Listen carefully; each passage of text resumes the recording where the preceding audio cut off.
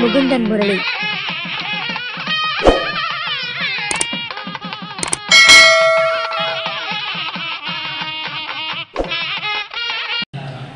மேடைக்கு வருமாறு கேட்டுக்கொள்கின்றோம். அடுத்தபடியாக இந்த விழாவினுடைய சிறப்பு அழைப்பாளராக டாக்டர் பிரகாஷ் ஐயா அவர்கள் மேடைக்கு வருமாறு அன்புடன் கேட்டுக்கொள்கின்றோம். டாக்டர் பிரகாஷ் ஐயா அவர்கள் அடுத்தபடியாக முதல் முறையாக நம்முடைய மகரிஷி ஜோதிட ஆராய்ச்சி அறிவகத்திற்கு பிரகாஷ் ஐயா அவர்கள் ஆ சரி. முதல் முறையாக வருகை புரிந்திருக்கக்கூடிய நம்முடைய ஜெயம் ஜெயஸ்ரீ மேடம் கோவிலிருந்து வருகை புரிந்திருக்கிறார்கள். அவர்களையும் மேடைக்கு வருமாறு வருக வருகை என் அன்புடன் அழைக்கின்றோம். கொஞ்சம் கைத்தட்டி உற்சாகப்படுத்தினா இன்னும் சிறப்பாக இருக்கும். முதல் முறையாக பேச இருக்கின்றார். இவர்கள் மூவருக்கு பிறகு வந்து நம்முடைய திருச்செங்கோடு ஜோதிட ஆராய்ச்சியர் சங்க செயலாளர் முருகேசன் ஐயா அவர்கள் சிறப்புரையாற்ற இருக்கின்றார்கள். ஐயா அவர்களையும் மேடைக்கு வருமாறு வருக வருக நம்முடன் அழைக்கின்றோம். அடுத்து நம்முடைய மகரிஷ் ஜோதிட ஆராய்ச்சியுடன் நிர்வாக குழு பொறுப்பாளர் உயர்துறை எடப்பாடி இருந்து வருகை சின்ன ஐயர் ஐயா அவர்களும் சிறப்புரையாற்ற இருக்கின்றார்கள். ஐயா அவர்களையும் மேடைக்கு வருமாறு வருக வருக நம்முடன் அழைக்கின்றோம். கீழே சரிங்க ஓகே. பிரகாஷ் ஐயா அவர்கள் மேடைக்கு வருமாறு கேட்டுக்கொண்டு முதல் பேச்சாளராக நம்மளுடைய ஜெயம் ஜெயஸ்ரீ மேடம் அவர்கள் ஜோதிடமும் எந்திரமும் என்ற ஒரு அற்புதமான ஒரு தலைப்பில் பேச இருக்கிறார்கள் அவருடைய அப்பா வந்து மிகப்பெரிய ஒரு பிரபலமான ஒரு ஜோதிடர் ஜோதிட நூல் ஆசிரியர். மேடைக்கு வாங்க. நிறைய கருத்துக்களை பதிவு செய்து கொண்டு இருக்கக்கூடிய நபர். அப்பாவுடைய தொழிலை எடுத்து நாமளும் அந்த தொழிலை செய்ய வேண்டும் என்று மிகப்பெரிய ஒரு உத்வேகத்தோடு கடந்த பத்து வருடங்களாக ஜோதிடத்துறையில் மகத்தான சேவைகள் செய்து கொண்டு வருகின்றார்கள். அது மட்டுமல்ல நிறைய ஜோதிட மாநாட்டிற்கு நிறைய நன்கொடைகளும் கொடுத்து கொண்டு வருகின்றார்கள். அவர்கள் சென்ற விழாவில் எல்லாம் மிக சிறப்பான முறையில் அவருக்கு தெரிந்த பாணியிலே நிறைய கருத்துக்களை அங்கே பதிவு செய்து கொண்டு வருகின்றார்கள். அது மட்டுமல்ல கௌரவ டாக்டரேட் பட்டமும் பெற்றிருக்கிறார்கள். பெரிய ஒரு இன்டர்நேஷனல் லெவலில் இருக்கக்கூடிய ஒரு நிறுவனத்தில் அப்படிப்பட்ட திறமை வாய்ந்த உயர்திரு உயர்திரு திருமதி ஜெயம் ஜெயஸ்ரீ மேடம் அவர்கள் ஜோதிடமும் இயந்திரமும் என்ற சிறப்பான ஒரு கருத்துக்களை இங்கே பதிவு செய்ய வருக வருக என அன்புடன் அழைக்கின்றோம். உங்களுடைய கைத்தட்டலோடு. அனைவருக்கும் வணக்கம். மதிய வணக்கம். என் பேர் டாக்டர் ஜெயம் ஜெயஸ்ரீ. இன்று முதன்முறையாக மகரிஷி ஜோதிட ஆராய்ச்சி அறிமுகம் முதன்முறையாக ஐம்பத்தெட்டாவது கருத்தரங்க கருத்தரங்கத்திற்கு வருகை புரிந்ததற்கு மிகவும் சந்தோஷப்படுறேன். ஃபஸ்ட்டு வந்து நான் சந்தோஷப்படுறேன். முதல் முறையாக இங்கே வந்து பேசுறதுக்கு வாய்ப்பளித்த முகுந்தன் மல்லி சாருக்கு முதற்கண் வணக்கம். இங்கு அமர்ந்திருக்கும் அனைத்து ஜோதிடர்களுக்கும் என்னுடைய முதற்கண் வணக்கங்கள். சிறப்பு அழைப்பா அழைப்பாளராக வந்திருக்கும் சுபம் மாரிமுத்து ஐயாவிற்கும் பிரகாஷ் ஐயாவிற்கும் ஐயா முருகேசன் ஐயா அவர்களுக்கும் என் முதற்கண் வணக்கம். எல்லாம் நல்லா சாப்பிட்டீங்களா? இன்னைக்கு சாப்பாடு சூப்பராக இருந்தது.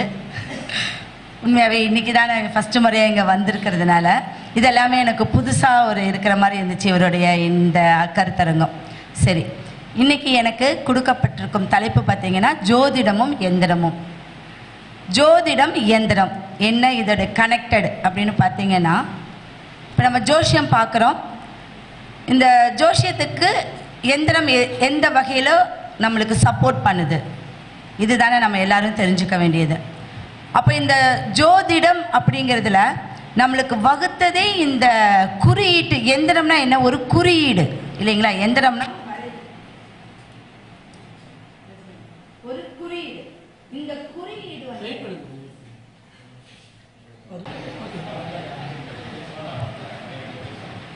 அனைவருக்கும் வணக்கம். இன்று ஜோதிடமும் எந்திரமும் அப்படிங்கிற தலைப்பில் நான் பேச வந்திருக்கேன். இந்த ஜோதிடம் அப்படிங்கிறது என்ன? எந்திரம் என்ன?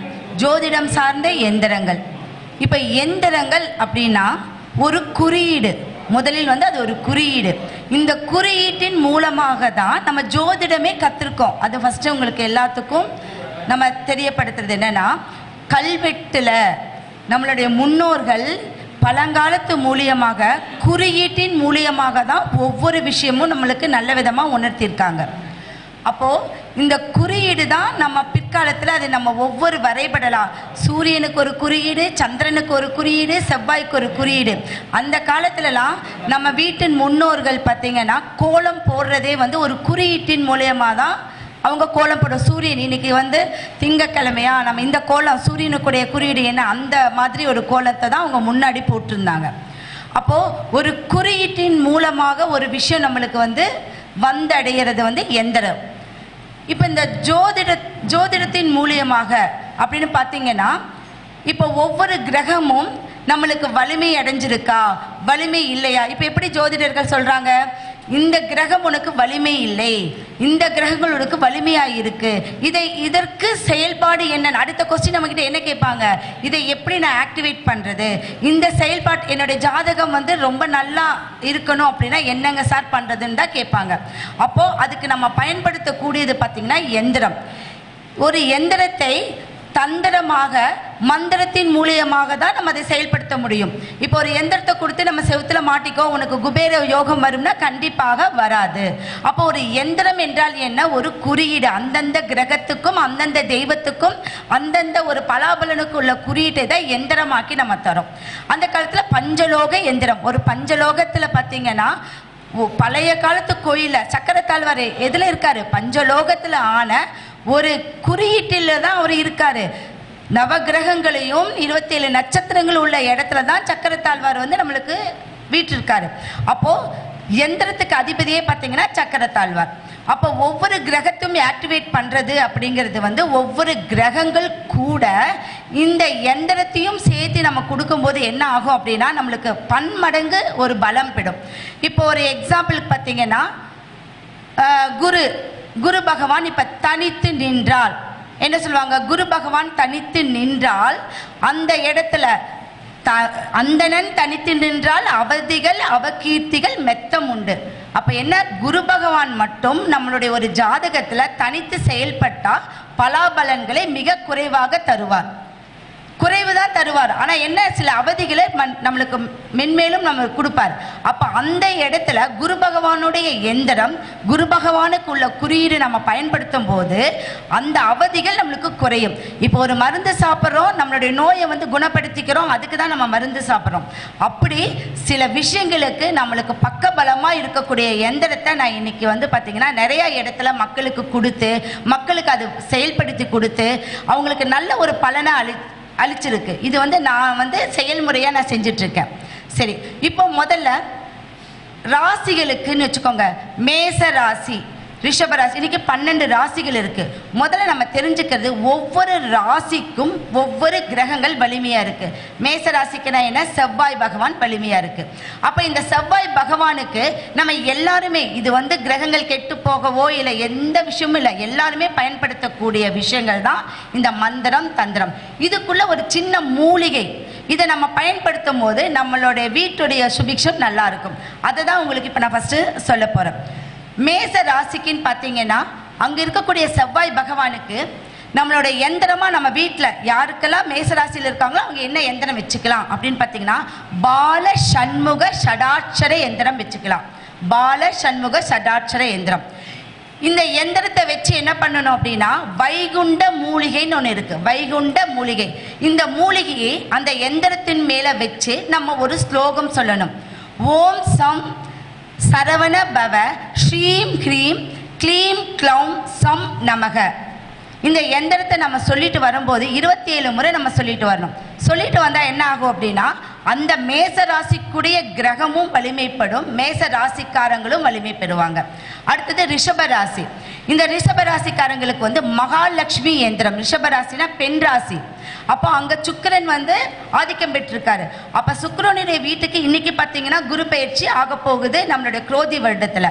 அப்ப சுக்கரன் வலிமை பெற்றா என்ன ஆகும்? நம்மளுக்கு சூப்பரா வீடு வண்டி வாகனம் யோகம் எல்லாமே அமையும். அப்ப அதுக்கு மகாலட்சுமி எந்திரம்.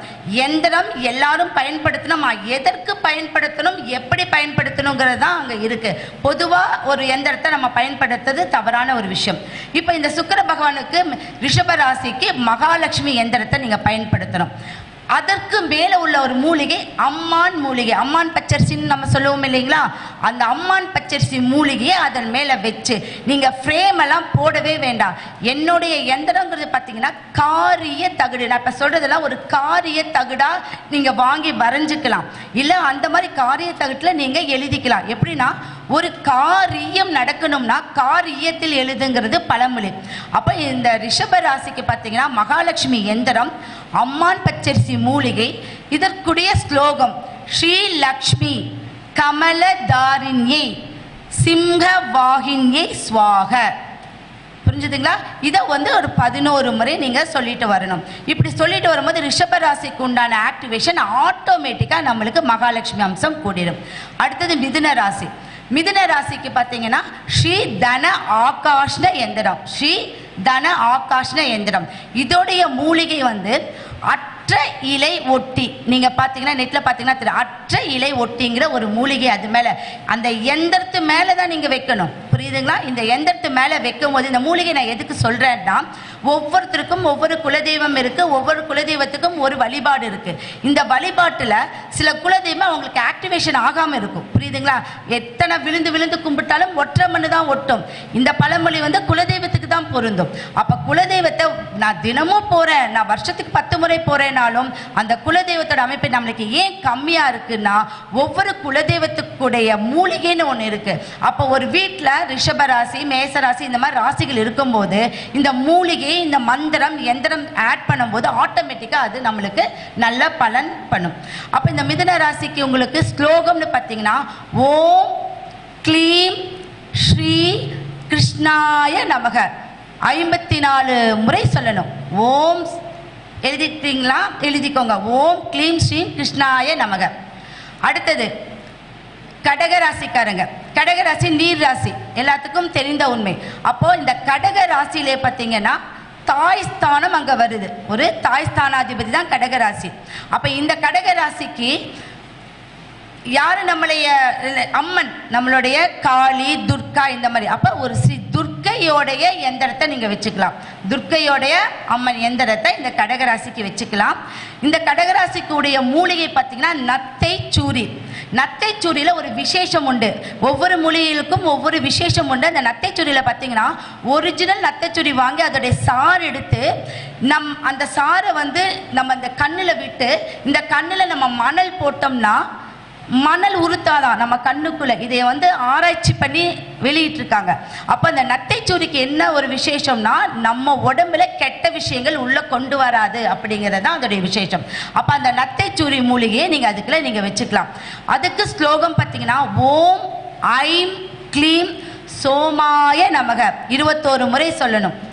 ஓம் ஐம் க்ளீம் சோமாய நமக. அடுத்தது சிம்ம ராசி. நம்ம பராசர முனிவர் பூர நட்சத்திரத்துல பிறந்திருக்காரு. இல்லைங்களா? அப்ப பூரம் என்றால் ஐந்தாம் இடம். ஐந்தாம் இடத்துக்கே ஒரு விசேஷமான அமைப்பு என்னங்க? அங்க ராஜா. முதன்மையான சூரிய பகவானுடைய அம்சம் தான் ராஜா. அப்ப இந்த ராஜா சிம்ம ராசி சிம்ம லக்னத்துல யார் பிறந்தா இருந்தாலும் ஒரு காலகட்டத்துல அவங்க ராஜாவா தான் வாழ வாழுவாங்க. நான் இந்த காலத்தை க- கஷ்டப்பட்டனாலும் எப்படி ஆண்டாலும் அவங்க ஒரு நல்ல நிலைமைக்கு வந்துருவாங்க. அப்ப இந்த சிம்ம ராசிக்கு உண்டான ஒரு எந்திரம் பார்த்தீங்கன்னா ஸ்ரீ சிதம்பர சக்கரம். சிதம்பரம்னா என்னங்க? ரகசியம்.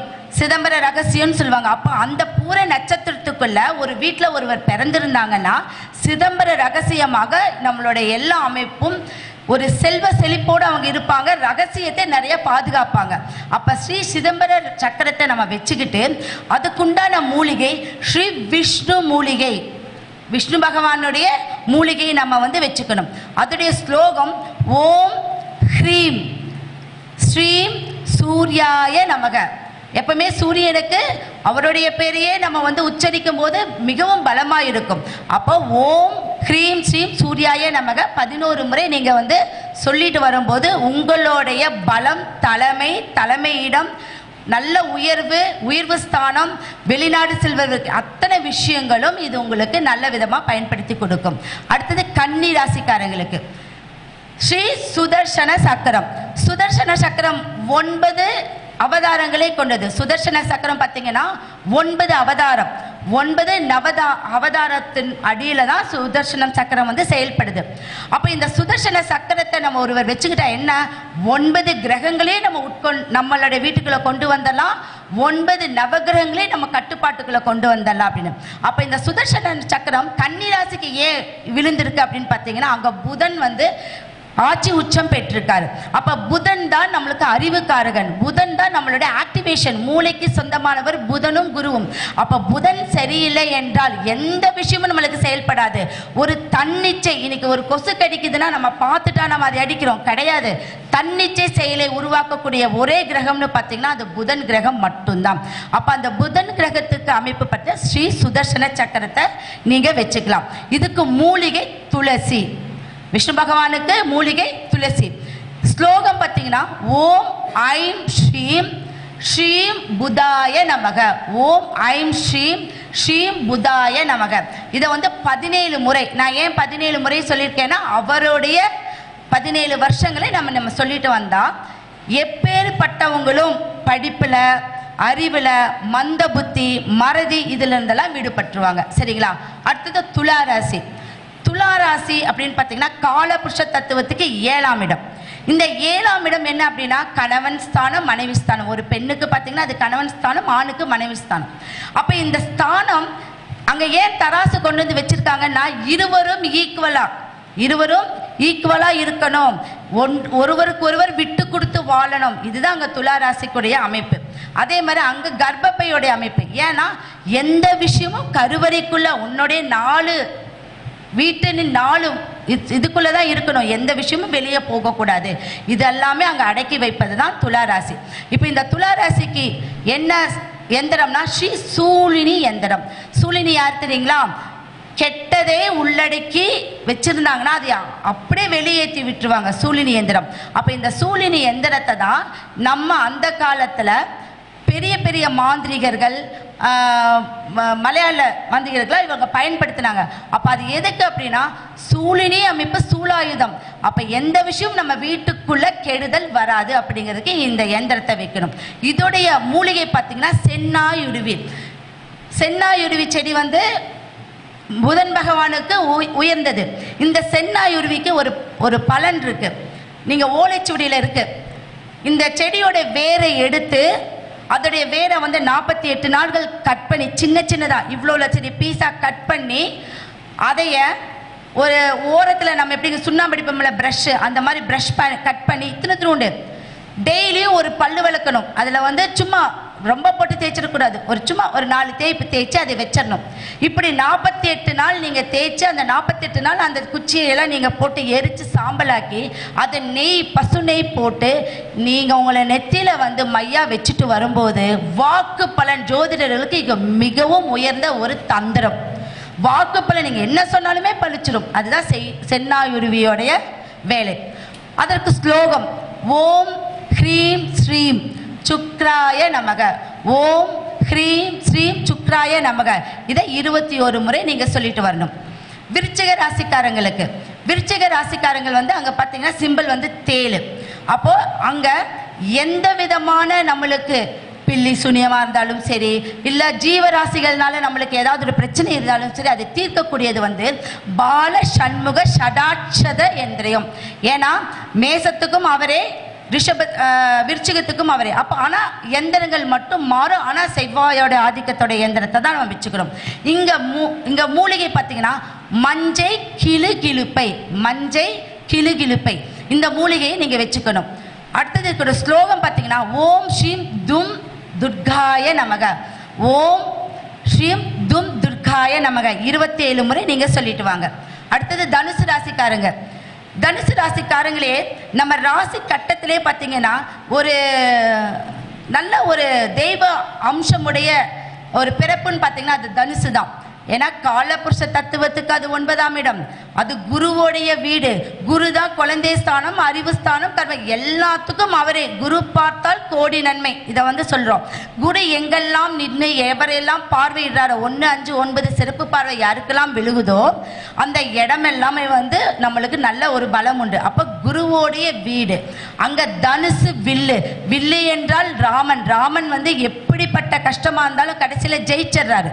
அப்போ ராமன் மட்டுமே என்ன சொல்றாருங்க? ராமன் ஒருவனே அவதார புருஷல்ல மிகவும் உன்னதமான ஒரு அவதாரம்னு சொல்றாங்க. அப்ப இந்த ராமாவதாரம் எடுக்கக்கூடிய ஒரு ஒருவர் வந்து பாத்தீங்கன்னா ஒரு அசுரர். அந்த அசுரர் வந்து ராம் அசுரராக தான் இருக்காரு. ஒரு முனிவர் சொல்றாரு நீ ராமனை மட்டும் ஒரு இருபத்தேழு முறை சொல்லிட்டு வான்னு சொல்றாரு. சும்மா சொன்னா முடிஞ்சது இல்லைன்னு சொல்லி இருபத்தேழு முறை சொல்றாரு. அதுக்கப்புறம் அவர் அசுரராக இருக்கல. ஏன்னா ராமர் பேரை ஒரு தடவை உச்சரிக்கும் போதே அவருக்கு என்ன ஆயிடுறாரு? அவர் வந்து ராமருடைய பக்தன் ஆயிடுறாங்க அப்ப இந்த தனுசு ராசியில பிறக்கிறவங்க அத்தனை பேத்துக்கு ஒரு நல்ல ஒரு காலங்கள் உண்டு. அதுக்குண்டான எந்திரம் ஸ்ரீ தன சக்கர எந்திரம். ஸ்ரீ தன சக்கர எந்திரம்.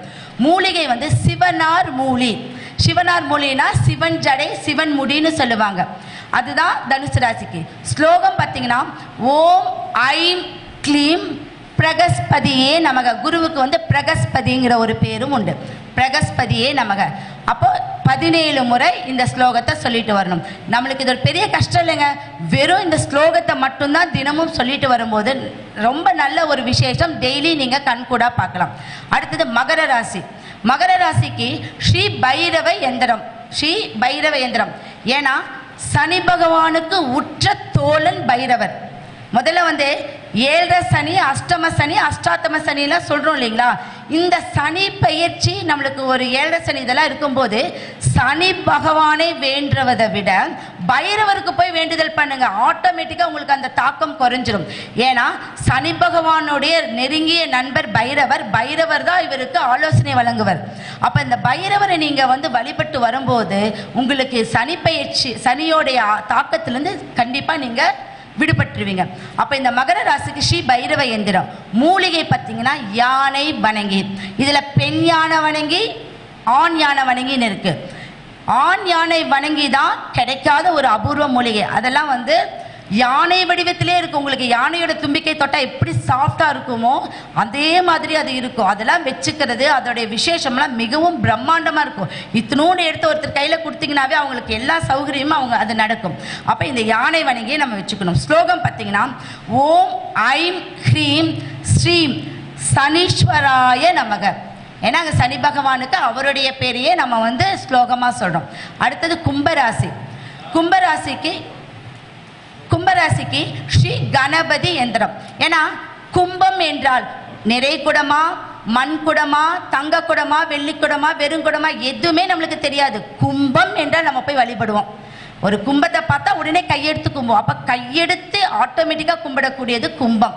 அப்ப அந்த ராசியில பிறக்கிறவங்களுக்கும் ரொம்ப ஒரு அதிர்ஷ்டம். அவங்க இயற்கையிலேயே ஆன்மீகமா வந்துடுவாங்க அப்ப இந்த கும்பராசிக்கு ஸ்ரீ கணபதி எந்திரத்தை இது பண்ணணும். தகரை மூலிகை. இந்த தகரை மூலிகை வந்து நம்மளுடைய தோட்டத்துல நம்ம பார்த்தீங்கன்னா அது வேஸ்டான செடின்னு சொல்லுவோம். உங்களுக்கு எல்லாம் தெரிஞ்சிருக்கீங்களா? தகரை மூலிகைன்னா என்னன்னா நிலத்தோட நிலமா ஒட்டி இருக்கும். அந்த மூலிகை எல்லா நோய்களுக்கும் ரொம்ப விசேஷம். அந்த மூலிகை நீங்க எடுத்து இந்த எந்திரத்து மேல வச்சுக்கிட்டு நான் சொல்ற ஒரு ஸ்லோகம். ஓம் ஸ்ரீ ஸ்ரீ உபேந்திராய அச்சுதாய நமோ நமக. ஓம் ஸ்ரீம் ஸ்ரீ உபே உபேந்திராய அச்சுதாய நமோ நமக. இதை பத்தொன்பது முறை நம்ம சொல்லிட்டு வரணும் அடுத்தது மீன ராசிக்கு. மீனம் வந்து நம்மளுடைய காலபுருஷத்தை வந்து கடைசி ராசி. இந்த ராசிக்கு ஸ்ரீ குபேர்ன தன ஆகாஷ்ன எந்திரத்தை வச்சுக்கணும். ஸ்ரீ குபேர தன ஆகாஷ்ன எந்திரம். இதற்கு மூலிகை குப்பை மேனி. இந்த குப்பை மேனியில் ஒரு விசேஷம் இருக்குது நம்ம வீட்டு பக்கத்தில் குப்பைமேனி இருக்குன்னு வச்சுக்கோங்க. ரெண்டு செடி எடுத்துக்கோங்க. ரெண்டு செடியை நீங்கள் ஃபிக்ஸ் பண்ணிக்கோங்க. இதை ஃபிக்ஸ் பண்ணிவிட்டு ஒரு செடி ஆண் ஒரு செடி பெண் சிவன் பார்வதி இப்படி நீங்கள் வச்சுக்கோங்க. இந்த ரெண்டு செடிக்கு நீங்கள் முதல்ல போய் ஒரு நாள் தண்ணி ஊற்றணும் மூன்று நாள் தண்ணி ஊற்றணும் ஃபஸ்ட்டு டே தண்ணி ஊற்றி ஒரு குழி பறித்து தண்ணி ஊற்றி அதுக்கு இருபத்தேழு முறை வந்து நீங்கள் நூல் சுற்றணும் காப்பு கட்டுறதுன்னு இதுக்கு பேர். இப்படி காப்பு கட்டி விட்டு மூன்று நாள் இல்லை ஐந்து நாள் அந்த செடிக்கு நீங்கள் தண்ணி ஊற்றிட்டே வரும்போது அந்த செடியோடைய வேர் வரைக்கும் அந்த நம்மளோட தண்ணி வந்து இலகிடும் இந்த இலகிட்டு நம்ம நாலாவது அஞ்சாவது நாளோ இல்லை மூணாவது நாளோ போய் அந்த செடிக்கு ஒரு எலுமிச்சை நீங்கள் வந்து மஞ்சள் குங்குமம் எதுவுமே போட வேண்டாம். ஒரு எலுமிச்சம்பழை அறுத்து நீங்கள் சுற்றி உங்களுடைய குலதெய்வத்தை நினச்சி அந்த செடிக்கு சுற்றி வச்சிருங்க. ஒரு விபூதி எடுத்து அந்த செடியோடைய நுனியை பிடிச்சுக்கோங்க. பிடிச்சிட்டு இந்த செடியை வந்து நீங்கள் இப்படி செடியை வந்து நீங்கள் தூக்கணும். செடியை வந்து வேரில் எடுக்கணும். அப்போ எடுக்கும்போது ஓம் மூலி மகாமூலி மாய மூலி உன் உயிர் உன் உடலில் நிற்க சுவாக. எப்பவுமே ஒரு செடியை பிடுங்கப்போ அது வந்து இறந்துரும் இல்லையா? அதுக்கு விபூதியை பிடிச்சி பிடிச்சுக்கிறோம் ஏன்னா விபூதி என்பது சிவனுடைய அம்சம். சிவன் நினைத்தால் உயிர் கொடுப்பார். அப்போ அவருடைய அமை அமைப்புப்படி என்னன்னா ஓம் மூலி மகாமூலி மந்திரமூலி மாயமூலி உன் உயிர் உன் உடலில் நிற்க சுவாக. எந்த செடியை நீங்கள் பிடுங்கினாலும் இதுதான் அமைப்பு. அதை பிடுங்கி அதோடைய மண்ணெல்லாம் வந்து பால் பன்னீர் தண்ணீரில் போட்டு ரெண்டு செடிக்கு அதே மாதிரி பண்ணி உங்களுடைய வீட்டு சாமி ரூமில் வச்சா நம்மளுடைய குலதெய்வம் இருந்து விடுபடும். இப்போ நம்ம கட்டு இருக்கா கட்டிலையா அதெல்லாம் வேண்டாம். குலதெய்வம் எப்பேற்பட்ட குலதெய்வமும் உங்களுக்கு வசமாயிடுவாங்க. இது வந்து குப்பை மேனியோடைய அம்சம். அப்போ அந்த குப்பை மேனி தான் மீனராசிக்கு மிகவும் விசேஷமான அமைப்பு. இதற்கு ஸ்லோகம்னு பார்த்தீங்கன்னா ஓம் க்ளீம் ஸ்ரீம் உத்ராய உத்தாரணே நமக. ஓம் ஸ்ரீம் உத்ராய உத்தாரணே நமக. இது வந்து பதினேழு முறை நம்ம வந்து சொல்லிட்டு வரணும். இப்போ இந்த பன்னெண்டு ராசிக்கு பன்னெண்டு மூலிகை பன்னெண்டு ந- எந்திரம் பன்னெண்டு ஸ்லோகம் சொன்னேன் சரி இப்போ இதெல்லாம் வச்சாதான் நல்லா இருக்குமா? இது இப்போ வந்ததா? அப்படின்னு கேட்டால் கிடையவே கிடையாது. எந்தனம் என்பதும் ஒரு மந்திரம் அந்த ஆதி காலத்திலிருந்து இருக்கு. அதுக்கு பரிகாரங்களுக்கு ஒரு கதை சொல்கிறேன் பார்த்தீங்கன்னா ஒரு அந்தணர் அவர் வந்து ரொம்ப ஒரு விவசாயி வச்சுக்கோங்க. விவசாயி வந்து ரொம்ப கஷ்டப்படுறாரு. அப்போ அவர் கஷ்டப்பட்டு தன்னுடைய குழந்தை குட்டிகளுக்கு சாப்பாடு போட முடியல. அவர் எப்போ பாரு கையில் வந்து ஜோ ஜோதிட புக் அவரை பிறந்த ஜோதிட புக்கவே வச்சுட்டு அலைவார். நம்மளுக்கு ஏதாவது ஒரு வழி கிடைக்குமா அப்படின்னு. அப்போ ஒரு வேலை தேடி வந்து ஒரு காட்டு வழியாக போறாரு. அங்கே ஒரு ஜோதிடரை பார்க்குறாரு அப்போ அந்த ஜோதிடர் கிட்ட சரி நம்ம பார்த்துக்கலாம் நம்மளுக்கு போகிற வழியில் ஏதாவது வேலை கிடைக்குமான்னு பார்த்துக்கலாம் அப்படின்னு ஜோதிடர்கிட்ட கொடுக்குறாரு. அப்போ அந்த ஜோதிடர் வந்து நம்மளுடைய ஜாதகத்தை பிரி அவர் ஜாதகத்தை பிரிச்சுன்னு சொல்றாரு. அவர் பார்க்குறாரு இருபத்தி நாலு மணி நேரத்தில் அப்படியே பர்ஃபெக்டா இருபத்தி நாலு மணி நேரத்தில் இவர் ஒரு ஏதாவது ஒரு பாலடைஞ்ச மண்டபம் இடி விழுந்தோ இல்லை ஒரு கருநாகம் இவரை வந்து கொத்தியே இவர் செத்துடுவார் இவருக்கு சாய்ஸே கிடையாது. இதுதான் அவரோட உண்மை. ஆனால் அவர்கிட்ட அவர் சொல்லலை. என்ன பண்றாரு? நாளைக்கு வா என்னை சந்திக்கிறதுக்குன்னு சொல்றாரு. போயிட்டு நாளைக்கு வா. அப்ப இவர் என்ன பண்றாரு? போறாரு. போற வழியில வந்து இருட்டிருச்சு. அப்ப அவர் ஒரு ஒரு இடத்துல வந்து அது ஒரு பாலடைந்த சிவன் கோயில். அந்த இடத்துல போய் போறாரு. அப்ப அவருக்கு பார்த்தோன்னே என்னாச்சு? அவருக்கு அப்படியே மனசு தாங்கல. ஏன்னா ச்சே எவ்வளோ எவ்வளோ பெரிய ஒரு விசேஷமாக இருக்கக்கூடிய கோயிலை இப்படி பாலணிஞ்சு போட்டிருக்காங்க. ச்சே எங்கிட்ட மட்டும் காசு இருந்தால் இதை நான் எந்த அளவுக்கு நான் சீரும் சிறப்புமா? இதை வச்சிருப்பேன்னு சொல்கிறாரு அப்போ அந்த கோயிலை போய் படுத்துறாரு. படுக்கும்போது நைட்டு பூரா அவர் என்ன பண்ணுறாருன்னா அந்த கோயிலை வந்து கட்டுறாரு பண்ணுறாரு அவர் அது எல்லாமே க்ளீன் பண்ணி என்ன பண்ணுறாரு ஒரு கும்பாபிஷேகத்தை அவர் நடத்திடுறாரு. நடத்தி திடீர்னு வந்து விழிப்பு வருது. உசு உசுன்னு ஒரு சவுண்டு பார்த்தா பக்கத்தில் கருநாகம் இருக்கு. அப்போ இவர் என்ன பண்ணுறாரு ஐயோ இங்கே இருக்கிறது ஆபத்துன்னு இவர் வெளியில் அவர் பாட்டுக்கு வந்துடுறாரு. இவர் வந்ததுக்கு அப்புறம் அஞ்சே நிமிஷம் இவருக்கு தெரியாது. அங்கே மண்டபம் கீழே விழுந்துருது இடிஞ்சு விழுந்துருது அந்த கருநாகமும் செத்துருது. அப்போ இவர் அதே ஜோதிடர் கிட்ட வராரு.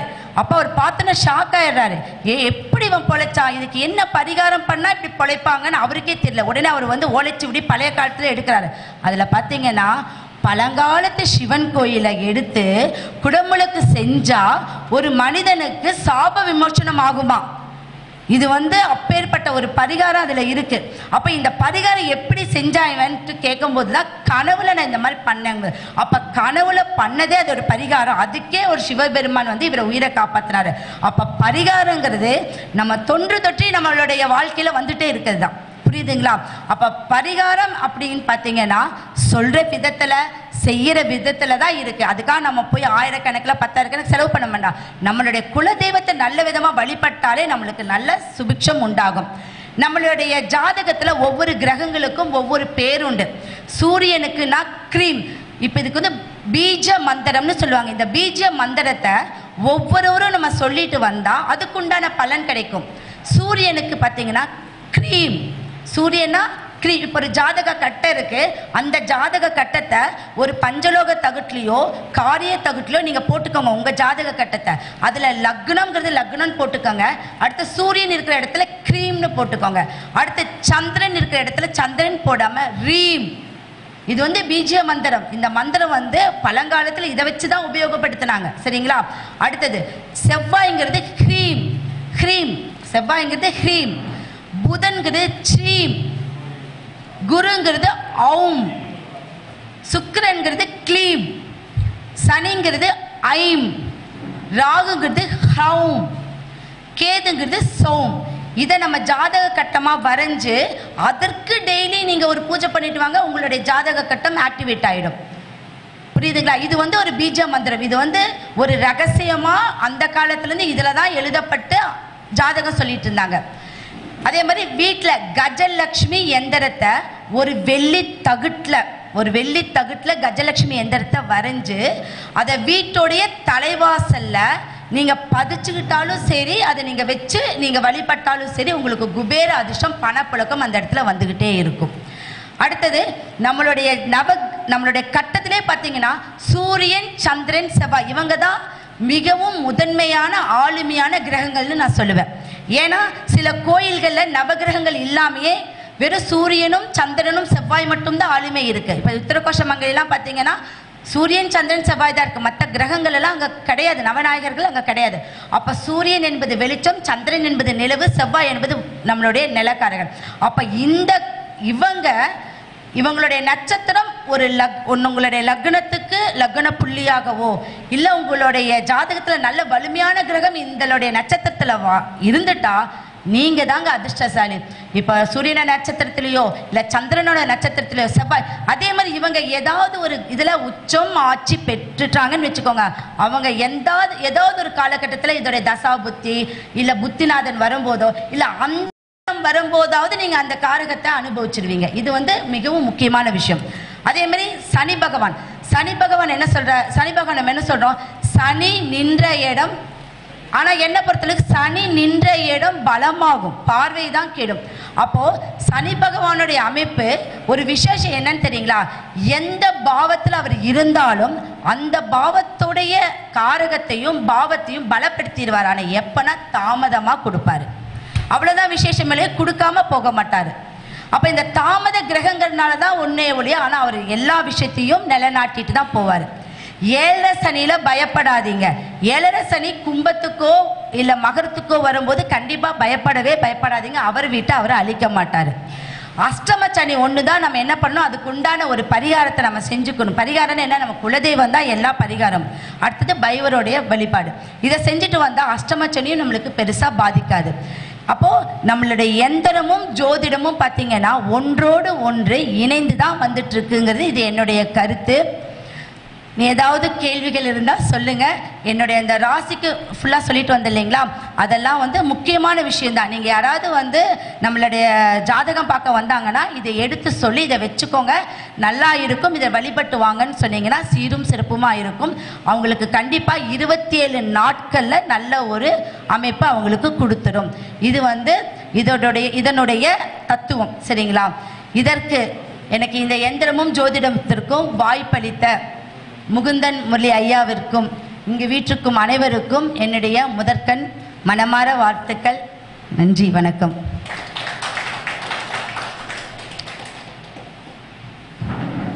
கொடுத்த விஷயத்தை எல்லாத்தையும் கொட்டி தீர்த்துடணும் அப்படின்னு சொல்லி பட பட பட பட பட படன்னு நிறைய விஷயத்த அற்புதமாக கொட்டி தீர்த்துருக்குறாங்க. உண்மையிலுமே ரொம்ப பிரமாதமாக பேசியிருக்கிறாங்க.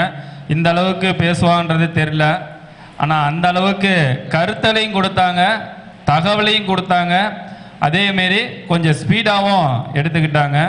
அந்த டைமிங்க்கு நல்ல ஒரு துணிச்சலாக ஒரு போல்டாக அவங்களுடைய அனுபவத்தை எல்லாத்துக்கும் கொடுக்கணும் அப்படின்ற ஒரு சிறப்பான ஒரு முயற்சியை சிறப்பான முறையில் செய்த நம்முடைய ஜெயம் ஜெயஸ்ரீ மேடம் அவர்களுக்கு. இப்பொழுது நம்முடைய சுப மாரிமுத்து ஐயா அவர்கள் பொன்னாடை போற்றி சந்தனமாலை அணிவித்து அது மட்டுமல்ல நம்முடைய சாமுத்திரி அவார்டு வந்து வாங்க முடியல. அது வந்து சென்னையில் நடக்கப்பட்ட இந்த விழாவுடைய விருதம் இங்கே கொடுக்கப்பட இருக்கின்றது. நம்முடைய விழாவில் ஆறுபடை ஜோதிட திருவிழாவில் கூட வந்து வந்தாங்க. ஆனால் நம்முடைய ஆதிகால பரிகார வகுப்பில் வந்து சான்றிதழ் பெறாமல் இருந்தாங்க. அதுவும் இந்த நேரத்தில் மேடம் அவர்களுக்கு கொடுத்து சிறப்பிக்கப்படுகிறது என்பதனை இந்த நேரத்தில் தெரிவித்துக் கொள்கின்றோம். அதை நம்முடைய சுப மாரிமுத்து ஐயா அவர்கள் திருச்செங்கோடு ஜோதிட ஆராய்ச்சியாளர் சங்க செயலாளர் உயர்திரு முருகேசன் ஐயா அவர்களும் இருவரும் சேர்ந்து இந்த விருதை கொடுத்து சிறப்பிக்க இருக்கின்றார்கள். நித்திஷ் ஆனந்த் ஐயா அவர்கள் மேடைக்கு வருமாறு.